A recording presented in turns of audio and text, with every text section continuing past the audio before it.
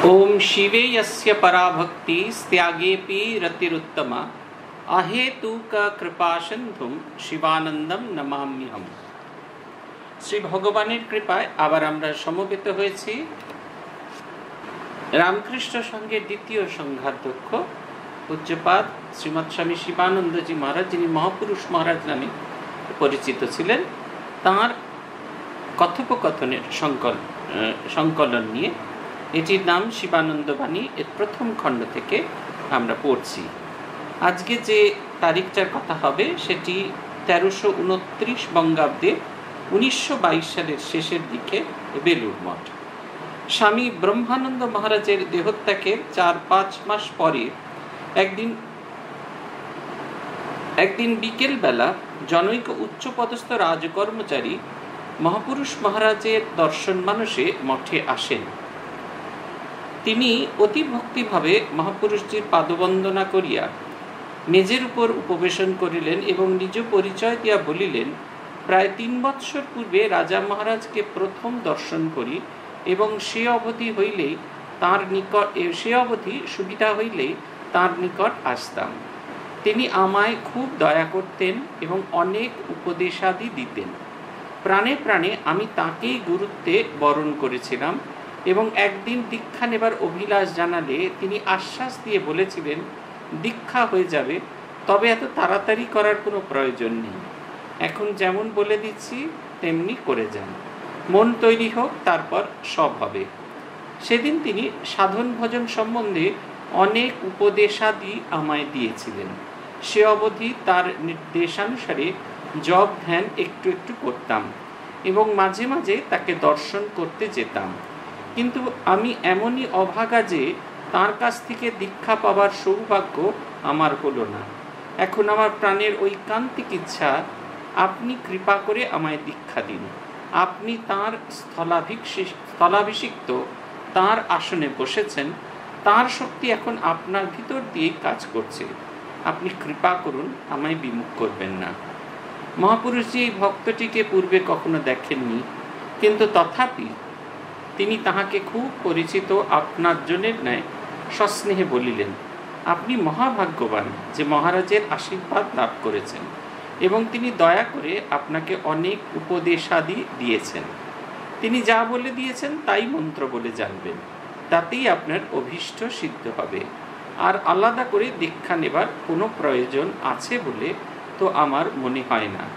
খুব কাতর প্রাণে ডাকুন, কেঁদে কেঁদে প্রার্থনা করুন নিশ্চয়ই তার দর্শন পাবেন এবং প্রয়োজন হলে তিনি আপনাকে দীক্ষাও দেবেন। তার কৃপা অমোঘ। তিনি তো আর সাধারণ সিদ্ধ গুরু নন, তিনি হলেন স্বয়ং ভগবানের পার্শ্বদ। তাদের কৃপা কটাক্ষে জীবের সংসার বন্ধন মুক্তি মুক্ত হয়। সাধক সিদ্ধ হয়ে যায়। ভগবান যখন জীবকল্যাণের জন্য নরদেহ ধারণ করে জগতে অবতীর্ণ হন, তখনই তারা শ্রী ভগবানের সঙ্গে আসেন যুগ ধর্ম প্রচারের জন্য, ভগবানের নরলীলা পূর্ণ করবার জন্য। পৃথকভাবে তারা জগতে বড় একটা আসেন না। তাছাড়া তিনি গেছেন কোথায়? পাঞ্চভৌতিক দেহটি ছেড়েছেন বইত নয়। এখন তিনি চিন্ময় ধামে, চিন্ময় দেহে ঠাকুরের সঙ্গে রয়েছেন এবং ভক্তদের অশেষ কল্যাণ করছেন। আমি বলছি, আপনি নিশ্চয় তার দর্শন পাবেন। এই ঘটনা, এরকম ঘটনা আমাদের প্রায় শুনতে পাওয়া যায় যখনই আমাদের সঙ্গগুরুদের মহাপ্রয়াণ হয়, এরকম বহু মানুষ এসেছেন। কারোর ইচ্ছা ছিল, অমুকের কাছে দীক্ষা নেব, অমুক মহারাজের কাছ থেকে দীক্ষা নেব। কিন্তু দীক্ষা হয়নি। কিন্তু তারা পরবর্তী সংঘগুরুর কাছে দীক্ষা নিতে এসেছেন। আমাদের সঙ্ঘে যেটি বিশেষ বৈশিষ্ট্য, সেটা হচ্ছে সঙ্ঘে আমাদের যে গুরুবাদ, সেটি হচ্ছে মূলত শ্রীরামকৃষ্ণ কেন্দ্রিক। শ্রীরামকৃষ্ণ একাধারে এই রামকৃষ্ণ সংঘের সবার গুরু এবং একাধারে সকলের ইষ্ট। তাহলে মানুষ গুরুকে, মানুষ গুরু হলেন তিনি, যিনি শ্রীরামকৃষ্ণের মূর্তিময় বিগ্রহ হয়ে আমাদের কাছে তাঁর করুণা বয়ে নিয়ে আসেন, তার কৃপা বয়ে নিয়ে আসেন। যেহেতু শ্রীরামকৃষ্ণের স্থূল শরীরে নেই তাই শ্রীরামকৃষ্ণের শক্তি এর মধ্যে দিয়ে, এই মানুষ গুরুর মধ্যে দিয়ে আমাদের কাছে আসে। পূজ্যপাত প্রেমেশানন্দজি মহারাজের ভারী সুন্দর একটি চিঠি আছে। আমাদের স্বামী বিশুদ্ধানন্দজি মহারাজ সংঘের অষ্টম সংঘগুরু, তার মহাপ্রয়াণ হবার পর তার এক দীক্ষিত সন্তান তাকে খুব দুঃখ করে একটি চিঠি লিখেছিলেন যে তিনি মহারাজকে দেখতে পাচ্ছেন না, মহারাজের সঙ্গ লাভ করতে পারছেন না। মহারাজের কৃপা পাচ্ছেন না। তার বড় কষ্ট। উত্তরে স্বামী প্রেমেশানন্দজি মহারাজ লিখেছিলেন যে, দুর্গা পুজো যখন হয়, তখন প্রত্যেকবার আমরা নতুন প্রতিমা তৈরি করি। তারপরে সেই প্রতিমা প্রাণ প্রতিষ্ঠা হলে তাকে দেবী জ্ঞানে পূজা করি, এমনকি বিসর্জনের সময় কেঁদে ভাসিয়ে দিই। কিন্তু পরবর্তীকাল, পরবর্তী বছর আবার নতুন একটি বিগ্রহ তৈরি করি এবং সেই বিগ্রহে দেবী দুর্গার আবাহন করে পুজো করি। এও ঠিক সেই রকম। শ্রীরামকৃষ্ণদেব এক একটি চিন্ময় রূপের এক একটি মৃন্ময় মূর্তি তৈরি করেন। তাই তিনি বলছেন, এতদিন আমরা বিশুদ্ধানন্দ প্রতিমায় শ্রীরামকৃষ্ণের পূজা করেছি, এবার আমরা মাধবানন্দের প্রতিমায় আমরা তার পূজা করছি।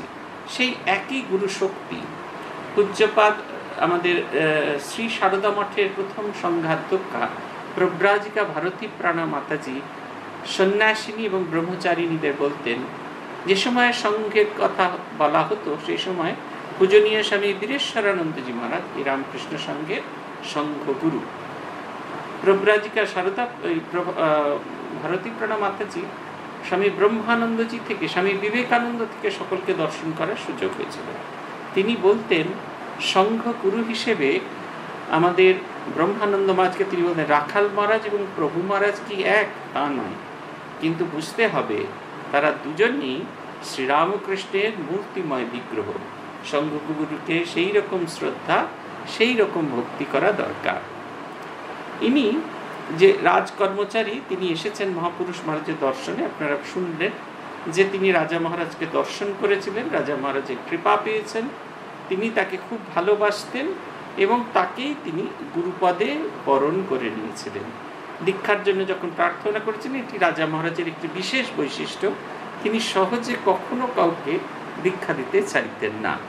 তিনি চাইতেন দীক্ষার জন্য যে প্রয়োজনীয় মন, সেটি যতক্ষণ না তৈরি হচ্ছে, ততক্ষণ কোনো রকম কোনো আনুষ্ঠানিক দীক্ষা দিতে তিনি রাজি হতেন না। কি সুন্দর কথা বলেছিলেন বলেছিলেন, দীক্ষা হয়ে যাবে, তবে এত তাড়াতাড়ি করবার প্রয়োজন নেই। এখন যেমন বলে দিচ্ছি, তেমনি করে যান। মন তৈরি হোক, তারপর সব হয়ে যাবে। এই মন তৈরি করার কথা সবাই বলেছেন। পূজ্যপাত মহাপুরুষ মহারাজের কাছে দীক্ষা নিতে এসেছেন এক ভক্ত মা। তিনি জিজ্ঞাসা করছেন, দীক্ষার উপকরণ হিসেবে তিনি কি নিয়ে আসবেন? তিনি বলছেন, প্রাণ আনতে পারো মা, প্রাণ। এটা কিন্তু আমাদের খুব গুরুত্বপূর্ণ বিষয় হিসেবে দেখতে হবে। সবসময় বুঝতে হবে যে আমরা দীক্ষার যে জৈবিক উপকরণগুলিকে জোগাড় করার চেষ্টা করি চা ফুল, ফল, মালা, এগুলো হতেই থাকবে। কিন্তু যদি মনটা তৈরি না হয়, তাহলে কিন্তু কিছুই হবে না। পূজনীয় ভূতেশ আনন্দজি মহারাজ বলতেন, বিনে অনুরাগ করে যোগ্য যাগ, তোমারই কি পাওয়া যায়? অনুরাগ ভিন্ন, শুধুমাত্র যোগ্য যাগ করে কি দেবতার পূজা করা মাত্রই? দেবতার কৃপা, দেবতার প্রসন্নতা লাভ করা যায়? যতক্ষণ না পর্যন্ত দেবতার প্রতি আমাদের সমান ভালোবাসা তৈরি না হয় ততদিন পর্যন্ত সমস্ত যোগ্য যাগ সমস্তটাই বৃথা হয়ে যায়। তিনি বললেন, এখন যেমন বলে দিচ্ছি, তেমন করে যান, মন তৈরি হোক, তারপরে সব হবে। এবং তিনি সাধন ভজনের কিছু উপদেশও দিতেন। অদ্ভুত রকমের সব সাধন ভজনের উপদেশ দিতেন। পূজনীয় কাশীশ্বরানন্দজির কাছে শুনেছি, তিনি এরকম উপদেশ দিতেন, দেখ, এখন থেকে এক বছর অবধি সদা সত্য কথা বলিবে এইটি তুই অভ্যাস কর। এক বছর যদি এটি তুই অভ্যাস করতে পারিস, তাহলে অবশ্যই তোর দীক্ষা হবে এক বছর বাদে। স্বামী ব্রহ্মানন্দজি সহজে দীক্ষা দিতে চাইতেন না। ইনি বলছেন, সে অবধি তার নির্দেশ অনুসারী জব ধ্যান একটু একটু করতাম। মাঝে মাঝে তাকে দর্শন করে যেতাম। কিন্তু আমি এমনই অভাগা যে তার কাছে দীক্ষা পাওয়ার সৌভাগ্য আমার হলো না। এর পরের যে কথাটি বলছেন, সেটি খুব গুরুত্বপূর্ণ। তিনি বলছেন, দেখুন এই মানুষটি সদ্গুরুর সঙ্গ করলে কেমন মনের বদল হয়, কেমন চিন্তা ভাবনার আমূল পরিবর্তন হয়, সেটা আমরা এখানে শুনলেই বুঝতে পারব। তিনি বলছেন, যে এখন আমার প্রাণের ঐকান্তিক ইচ্ছা, আপনি কৃপা করে আমায় দীক্ষা দিন। অ্যাজ ইফ এরকম নয় যে তাকে পাইনি, এবার আপনাকে পেয়েছি, দীক্ষা দেব। তার বিশ্বাসের কথাটি তিনি এবার বলছেন, আপনি তার স্থলাভিষিক্ত তার আসনে বসেছেন, তার শক্তি এখন আপনার ভিতর দিয়েই কাজ করছে। আপনি কৃপা করুন, আমায় বিমুখ করবেন না। দেখুন, এর মন তৈরি হয়েছে। স্বামী ব্রহ্মানন্দজি যেটা বলেছিলেন সেইটির কথা, যে মন তৈরি হোক, তারপর সব হবে। তার বিশ্বাস হয়েছে যে পরবর্তী যিনি সঙ্গগুরু হিসেবে এসেছেন, তার ভেতর দিয়ে পূর্বতন সঙ্গগুরুর কৃপা বইছে। পূজনীয় ভূতেশানন্দজি মহারাজের শরীর চলে যাওয়ার আগে, বেশ মাস তিনিক আগে থেকে বারবার এই কথাটি বলতেন, আমি চলে গেলে আমার পরে যিনি আমার জায়গায় এসে বসবে, তাকেও তোমরা তেমনি ভালোবাসবে, তাকেও আমাকে যেরকম শ্রদ্ধা করো তেমনি করবে, জানবে তার মধ্যে দিয়ে আমি বিরাজ করব। মহাপুরুষটি এই ভক্তটিকে পূর্বে কখনো দেখেননি, কিন্তু তথাপি তিনি তাহাকে খুব পরিচিত, আপনার জন্য ন্যায় সস্নেহ বলিলেন। প্রথমে তিনি তার মহা পূজনীয় ব্রহ্মানন্দজি মাঝে তার সেই ভক্তটির প্রতি কৃপা করার কথা বলতে গিয়ে বলছেন, আপনি মহাভাগ্যবান যে মহারাজের আশীর্বাদ লাভ করেছেন এবং তিনি দয়া করে আপনাকে অনেক উপদেশাদি দিয়েছেন। তিনি যা বলে গেছেন তাই মন্ত্র বলে জানবেন। তাতেই আপনার অভীষ্ট সিদ্ধ হবে। আর আলাদা করে দীক্ষার কোনো, নেবার কোনো প্রয়োজন আছে বলে তো আমার মনে হয় না। অনেকে এই অংশটা পড়তে পড়তে বলেন মহাপুরুষ মহারাজ তাদের মনে হয়, এমনকি আমারও এরকম মনে হয়েছে, যে উনি কি তাহলে বাইপাস করে দিতে চাইছেন? তা কিন্তু নয়। পূজনীয় স্বামী বীরেশ্বরানন্দজি মহারাজ চিন্তানয় বিবেকানন্দ গ্রন্থের ভূমিকা লিখতে গিয়ে বলেছিলেন, শ্রীরামকৃষ্ণের কথা, সাধারণ কথাও, প্রতিটি শব্দ, তার মুখনিসৃত প্রতিটি শব্দ শুধু শব্দ নয়, এগুলো একটি মন্ত্র। মনানাথ ত্রায়তে ইতি মন্ত্র। যা যে শব্দগুলিকে মনন করলে মানুষ জাগতিক কষ্ট থেকে ত্রাণ পায়। তিনি একটি মন্ত্রের কথা বলেছে, একটি শব্দ, শিবজ্ঞানে জীব সেবা বলছে, এইটিকে যদি কেউ মন্ত্র হিসেবে গ্রহণ করে, টিং টিং ছট টিং টিং ছট যে মন্ত্র আমরা পাই, সেইগুলি জপ করেও আমাদের যে হবে, যে কল্যাণ হবে, এই মন্ত্র জপ করেও ঠিক সমধিক কল্যাণ হবে। তাই তিনি এখানে কি সুন্দর কথা বলছেন। তিনি যা বলে দিয়ে গেছেন, দিয়েছেন, তাই মন্ত্র বলে জানবেন। সেই চিন্তা ভাবনাটাকে সাধন পথ অনেক সময় আমাদের সাহায্য করে? আমরা দেখবেন খুব উৎসাহ নিয়ে দীক্ষা নিতে যাই।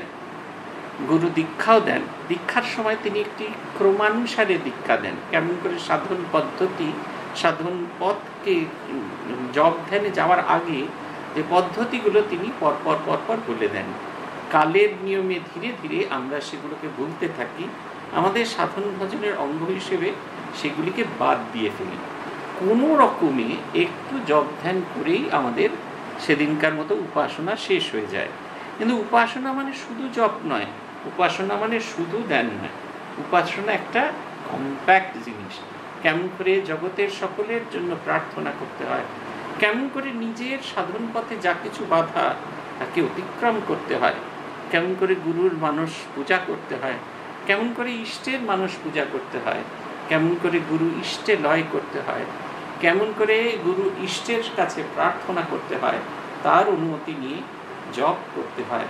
কেমন করে তার রূপ ও চিন্তা করতে হয় এবং জপ ধ্যানের শেষে যাবতীয় জপ ধ্যানের কৃত ফল তার শ্রীপাদপদ্মে অর্পণ করতে হয়।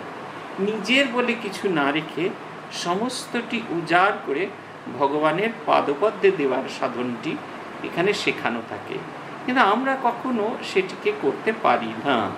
সেই কারণে আমাদের গুরুরা এত কৃপাময় যে দীক্ষা দেওয়ার পরেও তারা একটি গ্রন্থ দেন, যাতে আমরা ভুলে গেলেও ওই গ্রন্থগুলি দেখে যেন আমাদের মনে হয়। তাই বলছেন, আলাদা করে দীক্ষা নেবার কোনো প্রয়োজন আছে বলে মনে হয় না। যেটি তিনি দিয়েছেন, সেটিকে তার চিন্তা করার কথা বললেন। এরপরে বলছেন যে, দীক্ষা, গুরুর কাছে আমার প্রার্থনা পৌঁছানোর পথটি কি? তিনি বলছেন, খুব কাতর প্রাণে ডাকুন। কেঁদে কেঁদে প্রার্থনা করুন। নিশ্চয় তার দর্শন পাবেন এবং প্রয়োজন হলে তিনি আপনাকে দীক্ষাও দেবেন। এই দেখুন, দুটি পথ বলছেন। একটা হচ্ছে কাতর প্রাণে ডাকে। ঠাকুর একটি উদাহরণ দিয়েছেন, ঘ্যান ঘ্যানে ছেলে হওয়ার কথা বলছে। মা নানা কাজে ব্যস্ত, ছেলের খেলনা দরকার বা অন্য কোনো কিছু জিনিস কেনার দরকার, তার জন্য পয়সা চাইছে। মা যেখানেই যাচ্ছে, ছেলে তার পেছন পেছন যাচ্ছে, ও মা, দাও না গো, ও মা, দাও না গো, ও মা, দাও না গো। একটা সময় ভগবান, মা কি করেন? মা এসে সেই করাত করাত করে বাক্সের চাবি খুলে তার টাকাটি ছুঁড়ে ফেলে দেন। তাকে পয়সাটি দিয়ে দেন। ঠিক ভগবানের কৃপা পাই পাওয়ার জন্য তার ঘ্যান ঘ্যানে ছেলে হওয়া দরকার। এটা খুব পলিশড ভাষায় তিনি বলেছেন, খুব কাতর প্রাণে ডাকুন। আর বলছেন, কেঁদে কেঁদে প্রার্থনা করুন। কেন কেঁদে কেঁদে প্রার্থনা করতে বলছেন? আমাদের অনুরাগের অশ্রুতে আমাদের হৃদয় যেন পরিশুদ্ধ হয়ে যায়। যে হৃদয় ভগবানের কৃপা ধারণ করবে, সেই কৃপা ধারণ করবার জন্য আমাদের যে হৃদয়, সেটি যেন তৈরি হয়ে যায়। তাহলে কি হবে? বলছেন নিশ্চয় তার দর্শন পাবেন এবং প্রয়োজন হলে তিনি আপনাকে দীক্ষাও দেবেন। এখানে একটি শব্দ মহাপুরুষ মহাপুরুষময় ব্যবহার করছেন, প্রয়োজন হলে। আমরা অনেক সময় আমাদের নিজেদের প্রয়োজন বুঝতে পারি না। আমরা মনে করি, এটাই দরকার, ওটাই দরকার। কিন্তু গুরু ঠিক জানেন কোনটি আমাদের প্রয়োজন আছে? তাই বলছেন, প্রয়োজন। যদি আমার প্রয়োজন থাকে, অবশ্যই আমার দীক্ষা দেবেন। এরপরে বলছেন, তার কৃপা অমোঘ। তিনি তো আর সাধারণ সিদ্ধ গুরু নন। তিনি হলেন স্বয়ং ভগবানের পার্শ্বদ। মহাপুরুষ মহারাজ নিজেও স্বয়ং ভগবানের পার্শ্বদ। কিন্তু স্বামী ব্রহ্মানন্দ সম্পর্কে তিনি বলছেন, তিনি সাধারণ গুরু নন, তিনি হলেন স্বয়ং ভগবানের পার্শ্বদ। এদের কৃপায় কি হয়? বলছেন, এদের কৃপা কটাক্ষে জীবের সংসার বন্ধন মুক্ত হয় আর সাধক সিদ্ধ হয়ে যায়। যে বন্ধন আমাদের বেঁধে রাখে, কিছুতেই এগিয়ে দেয় না, সেই বন্ধন থেকে আমরা মুক্ত হই। আর সাধক যে বন্ধনের কারণে সিদ্ধির সোপান অব্দি পৌঁছে হারিয়ে যায়, সেই সিদ্ধির রাস্তা উন্মুক্ত হয়। ভগবান যখন জীবকল্যাণের জন্য নরদেহে ধারণ নরদেহ ধারণ করে জগতে অবতীর্ণ হন তখনই তারা ভগবানের সঙ্গে আসেন ও যুগধর্ম প্রচারের জন্য ভগবানের নরলীলা পূর্ণ করবার জন্য। তাদের আসার উদ্দেশ্য কি? না ভগবানের কাজের সহায়ক হিসেবে। ভগবান যে উদ্দেশ্যে জগতে অবতীর্ণ হয়েছেন, সেই উদ্দেশ্যটিকে পূর্ণ করে সেই উদ্দেশ্যের সম্যক প্রচার। আমি এটা খানিকটা অন্যরকমভাবে বলি। কুইনিন মিক্সচার কুইনিন যে ওষুধ সেটা যদি আমাদের এমনি খাওয়া হতো, সেটা বড় তিক্ত। অবতারের সমস্ত প্রচার, সমস্ত জীবন ধারণ সেটা হচ্ছে খুব কনডেন্সড ফর্মে থাকে, ঘনীভূত আকারে থাকে। আমরা সবসময় অবতারের সেই ঘনীভূত উপদেশ গ্রহণ করে উঠতে পারি না।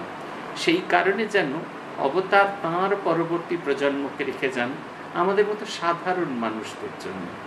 যাদের কাছে, যাদের জীবন দেখে, যাদের উপদেশ আমাদের জীবনানুক হয়ে আমাদের জীবনের আমূল পরিবর্তন হয়। এই বলছেন, পৃথকভাবে তারা জগতে বড় একটা আসেন না। এরপরে খুব মারাত্মক কথা বলেছেন। তাছাড়া তিনি গেছেন কোথায়? এটা আমাদের ভক্তদের একটা শিক্ষণীয় জিনিস। আমাদের যখন মন্ত্রগুরুর শরীর চলে যায়, তখন খুব আমরা ভেঙে পড়ি। আমরা মনে করি, আমাদের জীবনে আর কোনো পথ নেই। আমার মনে আছে, পূজনীয় ভূতেশানন্দজি মহারাজের মহাপ্রয়াণের পর আমি খুব কাতর হয়ে গেছিলাম। মাঝে মাঝে পূজনীয় আত্মস্থানন্দজি মহারাজের কাছে আমি যেতাম, যেন আশ্রয় খোঁজার চেষ্টা করতাম। পূজনীয় আত্মস্থানী একদিন খুব বকাঝকা করলেন এবং যে কথাটি বললেন সেটি মারাত্মক। বিশ্বাস কর, তোর গুরু আর ওই ছোট্ট শরীরের মধ্যে নেই। তিনি শ্রীরামকৃষ্ণের বৃহৎ শরীরের সঙ্গে মিলেমিশে একাকার হয়ে গেছেন। শ্রীরামকৃষ্ণকে যত দেখবি যত তাকে অনুভব করবার চেষ্টা করবি, দেখবি তুই তোর গুরুকেই যেন দেখতে পাচ্ছিস, তুই তোর গুরুর যেন সঙ্গ করে উঠতে পারছিস তাই এখানে তিনি বলছেন, পাঞ্চভৌতিক দেহটা ছেড়েছেন বই তো নয়। একজন, এখন তিনি চিন্ময় ধামে, চিন্ময় দেহে ঠাকুরের সঙ্গে রয়েছেন। ভক্তদের অশেষ কল্যাণ করছেন আমি বলছি, আপনি নিশ্চয় তার দর্শন পাবেন। এরপরে এই ইয়েতে যেটা লেখা হয়েছে, সেটা আমরা পড়ব। মহাপুর যে ভক্ত বলছেন, মহারাজ, আপনি যা বলছেন তা অতি সত্য। আমিও তার প্রত্যক্ষ প্রমাণ প্রমাণ পেয়েছি। রাজা মহারাজের দেহত্যাগের পর আমার প্রাণে নিদারুণ ক্ষোভের সৃষ্টি হয়েছিল। এই ভেবে যে অমন সদ্গুরুর সঙ্গ পেয়েও তার কৃপা লাভ আমার অদৃষ্টে হলো না। মন খুবই অশান্ত হয়েছিল। ঠাকুরের কাছে প্রার্থনা করেছিলাম। তিনি আমার প্রার্থনা শুনেছেন। আজ তিন দিন হলো স্বপ্নে মহারাজের দর্শন পেয়েছি এবং তিনি কৃপা করে আমায় মন্ত্রও দিয়েছিলেন। কিন্তু ঘুম ভেঙে যাবার পর সে মন্ত্র পুরোপুরি আর স্মরণ করতে পারিনি। খুব চেষ্টা করেছি, কিন্তু কিছুতেই তার স্মরণ হলো না। সেই থেকে মনটা খুবই উৎক্রান্ত হয়েছে। শেষটায় অনন্যপায় হয়ে আপনার কাছে ছুটে এসেছি। আপনি দয়া করে এর একটি উপায়, আপনাকে দয়া করে এর একটি উপায় করতেই হবে। আমার বিশ্বাস, তিনি আমার ভিতর দিয়েই আমার এ অভাব, তিনি আপনার ভিতর দিয়েই আমার এই অভাব পূর্ণ করে দেবেন। দেখুন, এতক্ষণ মহাপুরুষ মহারাজ যে কথাটি বলছিলেন, সেটা যে কতখানি সত্য, এই পরবর্তী সংলাপেই বোঝা যাচ্ছে। তিনি বলছিলেন যে, আপনার যদি প্রয়োজন হয়, তিনি আপনাকে নিশ্চয়ই দর্শন দেবেন এমনকি মন্ত্র দীক্ষাও দেবেন। দেখুন, এই ভক্ত সত্য সত্যই মন্ত্র দীক্ষা পেলেন। এই ভক্ত শুধুমাত্র দর্শন পাননি, তিনি মন্ত্র দীক্ষাও পেলেন। কিন্তু মন্ত্র দীক্ষার সম্পূর্ণ মন্ত্রটি তিনি মনে রাখতে পারেননি বলেই পূজনীয় মহাপুরুষ মহারাজের কাছে এসেছেন এবং তার বিশ্বাস যে মহাপুরুষ মহারাজের ভেতর দিয়ে তার এই অভাবটি পূর্ণ হবে। ইহা বলিতে বলিতে ভক্তটি খুব ব্যাকুল হয়ে ক্রন্দন করিতে লাগিল। মহাপুরুষজি ধীরভাবে ভক্তটির সব কথা শুনিতেছিলেন। এখন এতাদৃশ্য ব্যাকুলতা দেখিয়া তার মুখমণ্ডল করুণায় দীপ্ত হইয়া উঠিল। তিনি তাহাকে পুনরায় আশ্বাস দিলেন, মহারাজ, যখন আপনাকে এতটা দয়া করেছেন, তখন আপনার কোনো ভয় নেই। তার কৃপায় সব ঠিক হয়ে যাবে। আপনি হতাশ হবেন না। যখন সময় হবে, তিনি পুনরায় আপনাকে দর্শন দিয়ে কৃপা করবেন। খুব কাতর প্রাণে তাকে ডেকে যান। কিন্তু ভক্তটি মহাপুরুষটির আশ্বাস বাণীতে শান্ত না হয়ে মন্ত্র দিবার জন্য তাহাকেই তাহারই নিকট পুনঃ পুনঃ প্রার্থনা জানাইতে লাগিলেন। অগত্যা কতটা যেন সম্মত হইয়া তাহাকে খানিক্ষণ অপেক্ষা করতে বলিয়া তিনি মহারাজের ঘরে প্রবেশ করিয়া দরজা বন্ধ করিয়া দিলেন। তখনও শ্রী শ্রী মহারাজের মন্দির নির্মিত হয়নি। মঠে মহাপুরুষজির ঘরের পাশে যে ঘরে মহারাজ থাকিতেন সেই ঘরেই তাহার ব্যবহৃত জিনিসপত্র ছিল এবং সেখানে নিত্য পূজা হইত। প্রায় আধ ঘণ্টা পরে মহাপুরুষ মহারাজের ঘরের দরজা খুলিয়া, মহাপুরুষ মহারাজ ঘরের দরজা খুলিয়া সেই ভক্তটি মহারাজের সেই ভক্তটিকে মহারাজের ঘরে আসিবার ইঙ্গিত করিলেন এবং উভয়ে সে ঘরে প্রবেশ করিয়া দরজা বন্ধ করিলেন। খানিক্ষণ পর মহাপুরুষজি একাই মহারাজের ঘর থেকে বাহিরে আসিয়া নিজ তক্তপোষের উপর চুপচাপ বসিয়া রইলেন। ঘণ্টাখানিক পরে ভক্ত, ভক্তটি মহারাজের ঘর হইতে আসিয়া মহাপুরুষটির চরণে সাষ্টাঙ্গ প্রণত হইয়া গদগদ স্বরে বলিলেন, আজ আমার জীবন ধন্য হল। স্বপ্নে রাজা মহারাজ যে মন্ত্র দিয়েছিলেন, আপনিও সেই মন্ত্রই আমায় বলে দিলেন। এতেই আমার বিশেষ আনন্দ হয়েছে। তিনি আপনার ভিতর রয়েছেন এ আমি প্রত্যক্ষ দেখতে পেয়েছি। এ আশীর্বাদ করুন যেন এ জীবনে ইষ্ট দর্শন হয়। মহাপুরুষজি বলছেন, আপনি মহাভাগ্যবান। পূর্বজন্মার্জিত বহু সুকৃতি আছে বলে আপনাকে মহারাজ নানাভাবে এত কৃপা করেছেন কিন্তু এখন যে বস্তু পেলেন তা নিয়ে সাধন ভজনে ডুবে যান। আপনার অভীষ্ট সিদ্ধ হবে। প্রকৃত ভক্ত সর্বাবস্থায় শ্রী ভগবানের উপর নির্ভর করে নির্ভর করে বেড়াল ছানার মতো পড়ে থাকে আর কেঁদে কেঁদে ডাকে তার নিকট প্রার্থনা জানায়। তিনিই জানেন তার ভক্তকে কখন দর্শন দিতে হবে। তার শরণাগত হয়ে তার দুয়ারে পড়ে থাকুন আর গায়ে মনোবাক্যে পূর্ণ ভক্তি, বিশ্বাস ও প্রেম প্রীতির জন্য প্রার্থনা করুন। তিনি আপনার হৃদয়ে পূর্ণ করে দেবেন। কি সুন্দর কথাগুলি দিয়ে আজকে আমরা শেষ করছি।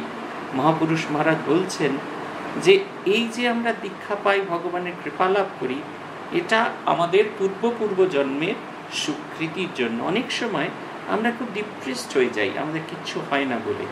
কিন্তু এটা যদি ভাবি যে আমরা পূর্ব পূর্ব জন্মের সুকৃতির কারণে ভগবানের কৃপা লাভ করেছি, তাহলে কিন্তু আমাদের এই ডিপ্রেশনটা অনেকটা কেটে যায়। আমাদের করণীয় কি? তিনি বলছেন, সাধন ভজনে ডুবে যাওয়া। যে বস্তুটি পেয়েছি সেটির সাধন করে সেটিকে আত্মীকরণ করা, এটা আমাদের জীবনের উদ্দেশ্য। আর কি? ঈশ্বরের ওপর সম্পূর্ণ নির্ভর করা। কেমন নির্ভরতা? না বিড়াল ছানা যেরকম তার মায়ের উপর নির্ভর করে।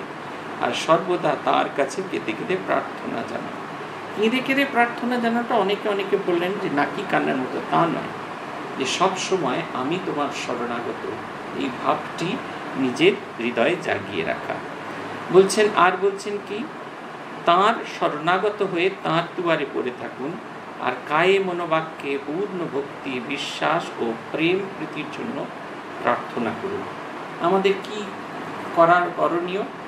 আমাদের তার শরণাগত হয়ে তার দুয়ারে পড়ে থাকা এবং মন প্রাণ উজাড় করে শ্রী ভগবানের প্রতি বিশ্বাস, শ্রী ভগবানের প্রতি ভক্তি শ্রীরাম ভগবানের প্রতি প্রেম ও তার প্রতি প্রীতির জন্য প্রার্থনা করুন। এটি যদি না হয়, তাহলে কিন্তু আমাদের কোনো কিছুই হবে না। এবং ভগবান জানেন, এটি হলে কখন তিনি আমাদের হৃদয় পূর্ণ করবেন। তিনি বলছেন যে তিনি জানেন তার ভক্তকে কখন দর্শন দিতে হবে। আমাদের কাজ শুধু ভগবানকে ডেকে যাওয়া। তিনি কখন আমাদের দর্শন দেবেন, কখন আমাদের কৃপা করবেন, সে ভাবনা আমাদের নয়। আমাদের শুধু ভগবানকে ডেকে যাওয়াটাই আমাদের কাজ।